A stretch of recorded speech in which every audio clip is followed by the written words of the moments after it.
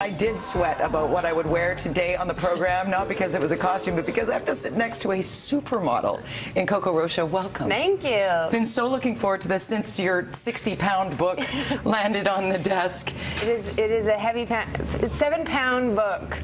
It's a good workout if you don't even want to look at it. It is a great workout, and boy, did I ever look at it. It oh, is fantastic. 1,000 poses. This is the the ideal Christmas gift for that little girl that loves the camera or that little boy who loves the camera. True that. Um, it is just 1,000 fantastic poses. I don't know how you came up with all of them. We'll get to those, but talk about Jean-Paul Gaultier writing the foreword for oh you. Oh my goodness. Well, Jean-Paul Gaultier actually really uh, helped in, in uh, establishing me as a model. There was definitely a few key people, but Gaultier had me uh, Irish dance down his runway in 2007, which kind of lifted my career. And ever since then, he's given me such creative uh, ways on his uh, on his runways to perform. And I thought, oh my goodness, if anyone, if I could get anyone, my wish list was Gaultier to do my Ford. And he was so kind, so generous and beautiful. And when he saw it, in fact, he was amazed that there wasn't, I mean, as simple as the idea of just a book of poses, that it wasn't thought of or done before. Because not only is it great for, yes, your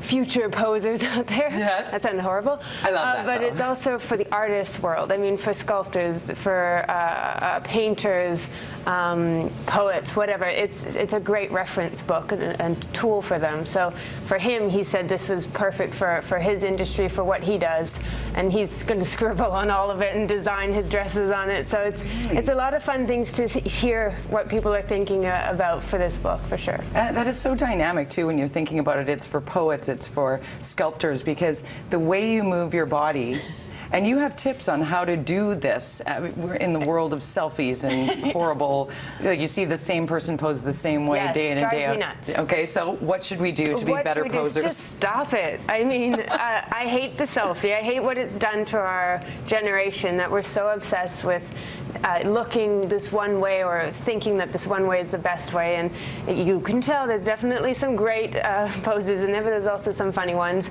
Um, let loose. It's just a photo, you know? You're not curing cancer. Right. That's yeah. a very good point. And taking the selfie, you're, you're, recommending that perhaps we give up the camera. I say give up the camera completely. I mean, we used to, you know, I don't know, you'd visit the Great Wall of China and you'd ask someone, hey, could you just take a photo of me? Now it's you specifically want to take it yourself. You don't want that human, inter uh, human interaction. You feel like it's weird to go out and be like, hey, could you just take a photo? Yeah. Which that's my job. I'm like, hey, could, could here's a camera. Can you just take a photo for a second? Thank you very much, sir, and then walk away.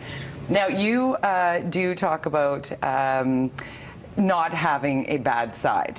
You are a supermodel. Some of us believe that, well, we have no good side, honestly, when it comes to photos, but it's not true. It's not true. I mean, come on. I, I make the joke of I don't have a bad side because we just shouldn't be that worried.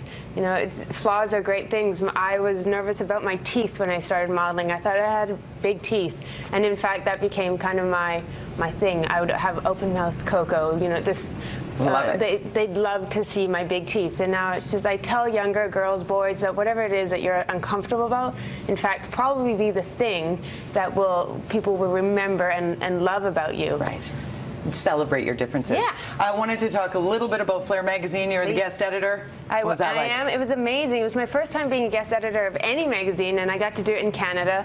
Uh, they pretty much let me do whatever I wanted to do. So uh, I, I love that because, you know, so many times I've heard of people wanting you to do projects with them, but in reality, they just want your name and then you right. walk away. Good point. This this was really something I, I got to do from cover to cover. I love your power and your attitude. Your message is very clear. Thank you're not you. just a beautiful woman, you're smart. I want people to know that you there's smart business women out there, uh, in our industry especially. I, I mean, I, I, the models that I work with were, are particularly very smart business women. And uh, uh, I don't like stereotypes. No, you don't. And I want to congratulate you on the little um, news that you shared a couple the, of weeks ago. The second baby. The, the second, first baby. The first baby. and the second baby. Somewhere in that very slim physique. Congratulations. Thank you. When are you due? I'm due in spring. All right. So I'm very excited. We will look forward to the poses with baby. baby. The belly, baby belly poses and such. You can see Coco Rocha at her book signing at Holt Renfrew, 4.30 to 6 o'clock this evening. It is a Q&A and you can pick up